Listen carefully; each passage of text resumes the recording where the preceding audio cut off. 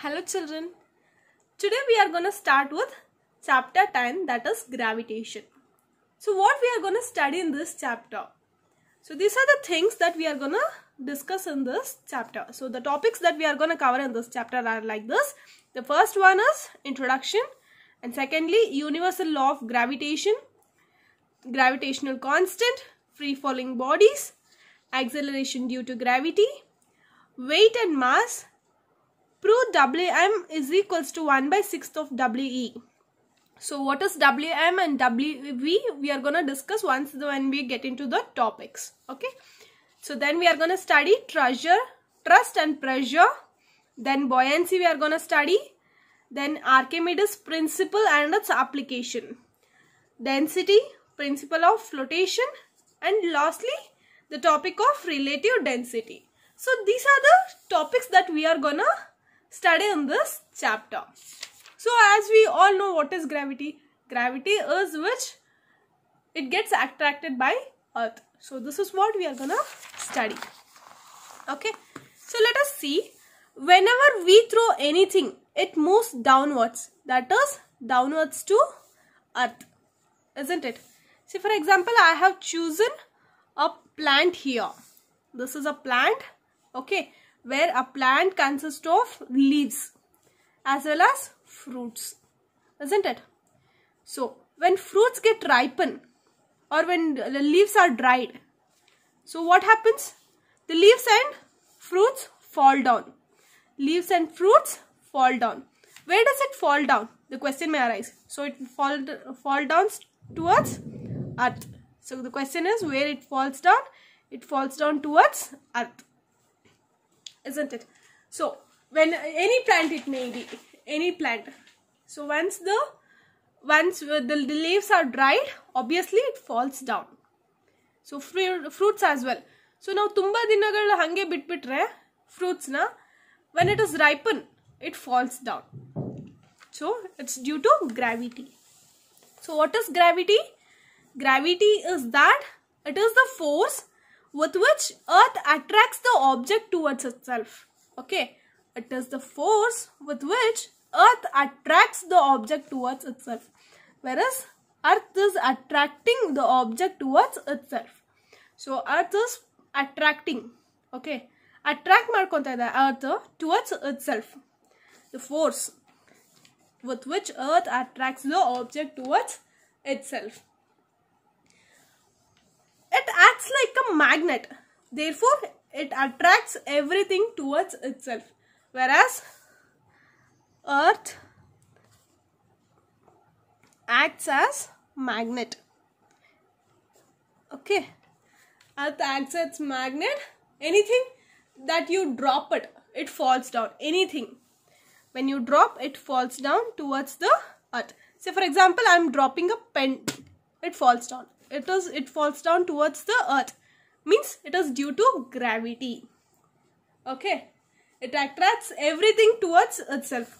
This is what we have written here. It acts it acts like a magnet. Therefore it attracts everything towards itself. Okay? We know that the moon goes around the earth isn't it? Say for example this is the sun and this is the orbit where moon is revolving. We know that moon goes around the earth isn't it? So say for example this is the sun where moon will be revolving around the earth.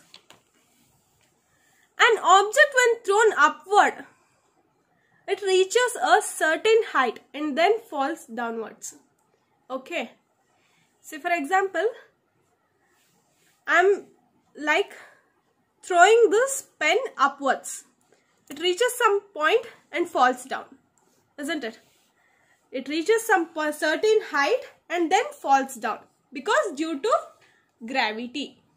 It is due to gravity. See for example, let me take a ball. Example, I am taking here a ball. Okay. Where either you drop down or up you can throw it upward or you can drop it down when you throw it upward or downward ultimately the ball falls down isn't it? When we throw the ball upward or downward it ultimately falls down because it's due to gravity. So why is it so? It may be either thrown upward or downward. It falls down towards towards earth okay? So the ball falls down. So this is due to gravity.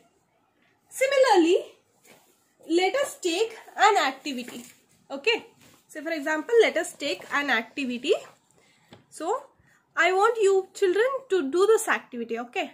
This will be really helpful and this activity is very good. So the activity is like this take a piece of thread. Tie a small stone at the one end okay? Take a small stone and tie at one end.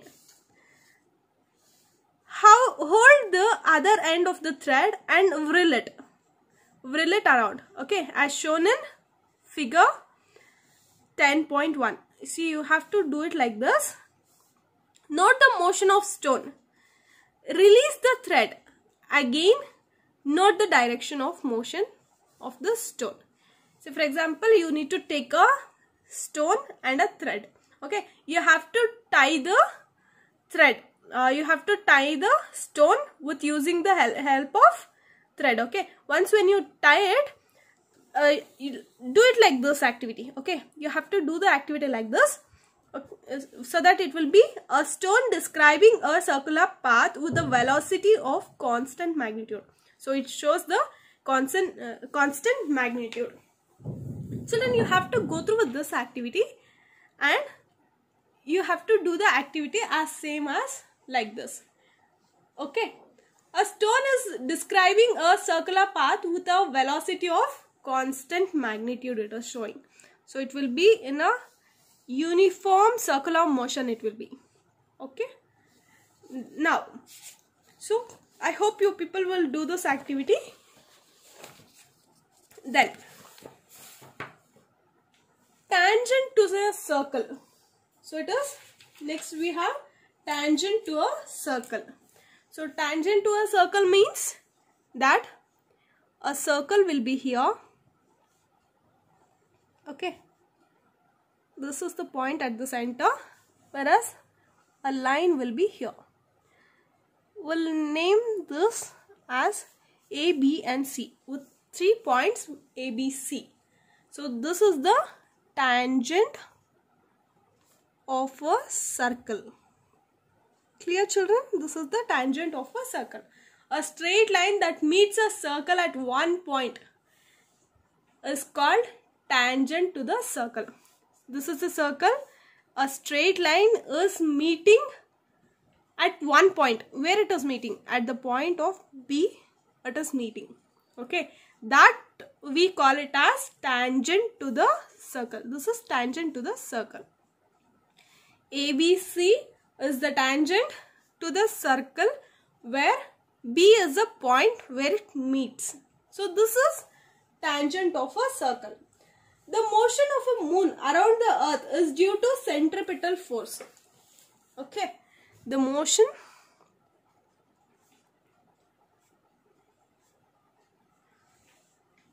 The motion of the moon around the earth. Around the earth is due to centripetal force. There is a force acting which the force is called as centripetal force. Okay. Where the centripetal force is provided by the force of attraction of the earth. Say for example why uh, the question may arise like this. Why it is not falling down? Because due to centripetal force is there. This is the sun whereas moon is revolving but moon is not falling down.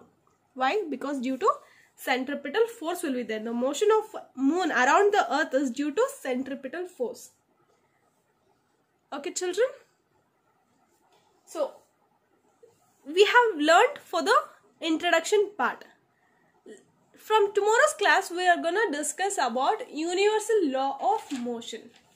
Children, I want you people to do the activity and send it the way you have used to do with the videos. Okay. Thank you so much.